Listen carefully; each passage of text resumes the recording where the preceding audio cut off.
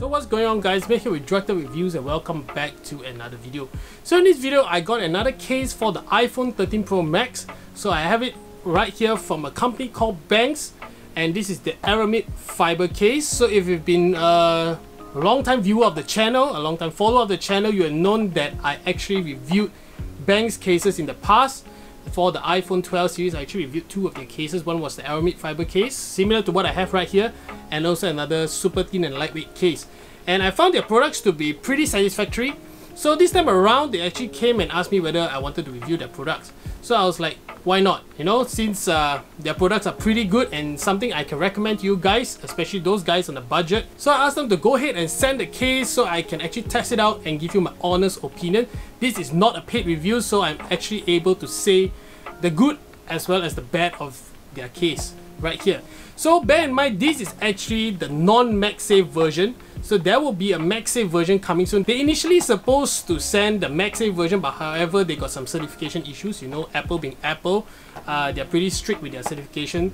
But anyways, the case will come soon and I'll be re-reviewing that case, of course, with the MagSafe functionality. But this case in my testing is actually thin and light enough that MagSafe is not really affected. Of course, you do lose some uh, grip with the MagSafe, but it doesn't really uh, affect like MagSafe charging, but if you're using MagSafe accessories, then yes, this case is something you will have to reconsider and instead wait for the MagSafe version. Alright, so enough talking. If you haven't subscribed to this channel already, do hit the subscribe button and also enable notifications so you get notified on the latest videos which I post and I try to put out as much content as I can within the week on Wednesdays and Fridays usually. So without further ado, let's get right into the unboxing and review of the Benks Aramid Fiber case for the iPhone 13 Pro Max.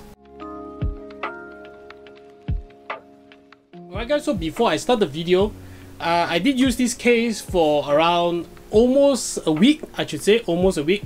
And I already have gathered my thoughts about this case. So I'll be talking about that right after the unboxing. And they're also having their Black Friday sale, so you can get a case like this probably for 50% off. And the best part is that you can actually stack my discount code on top of your purchase, on top of their discount. So you can get a really good deal with their cases. So I'll be sharing with you guys the code at the end of this video. So let's quickly get through the unboxing. So let's take a look at the packaging as usual. So on the top you get Benks logo, you get a glimpse of the case itself. You can see it's for the iPhone 13 Pro Max and these are the features of this case. Full cover protection, precise hold position as well as tough and anti-drop. So basically that's it. And then you have a small little tab to pull. Quickly get that pulled out so I actually sealed it back so I can show you how you're going to be receiving the package. Alright, so all you get is actually the case itself. So there's nothing else, nothing fancy, no thank you card, no like product information, stuff like that. So this case is honestly really, really nice feel in the hand. Alright, let's take a look at the fiber itself. You can see this is actually uh, pretty um, noticeable texture and also you can feel the bumps on the weaves of the aramid fiber. So overall it's a very nice case. You do see some oil stains which I'll be talking about later and the cutouts are basically spot on I should say. So you can see the insides. Insides has lesser texture than the back but that's good because you do not want a rough texture touching the back of your device. Alright, let's take a look at the inside. So we are not talking about drop protection here, we are just talking about maximum scratch protection. So do not keep your hopes too high if you do drop your device. I mean, I have to be honest with you guys. Let's get the phone installed. I do like to go in on the side with more material. So I'm stepping it on the power button side first. Let's do it right here.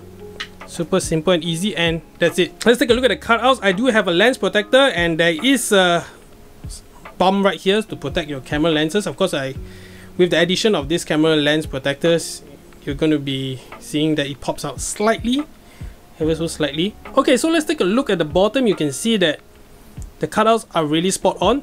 This has an added advantage over co other competitors because it does have the top and bottom covers. So yeah but of course it does have a pretty eyesore cutout right here on the top as well. Because the case does have to flex if you want to remove it so it's easier to remove. So let's take a look at the left side you can see the cutouts basically the one big cutout and on the right side your power button there's like no restrictions at all because there's no like extra buttons on top So it's pretty good. Alright guys, so let's talk about what I like about this case from Benks. Is number one the price. I think it is priced very competitively. So you can see right here on their website that is priced at 124 ringgit and 99 cents, which is basically 125 ringgit. And I think for such a material, uh, if you know aramid fiber, I do love the aramid fiber material because it's not only elegant, it is also very tough. I should say it's a very tough material. So another thing which I do like about this case is the fit and finish. I think the fit and finish on this case is really good for a case price around this price range. And I think uh, they really have uh, met with my expectations on a thin case and I think this is uh, really really nice to hold in the hand because the sides here are very nice and are not sharp.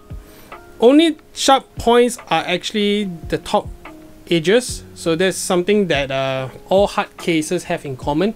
They are pretty rough on the top edges. So what I do not like about this case is the oil marks.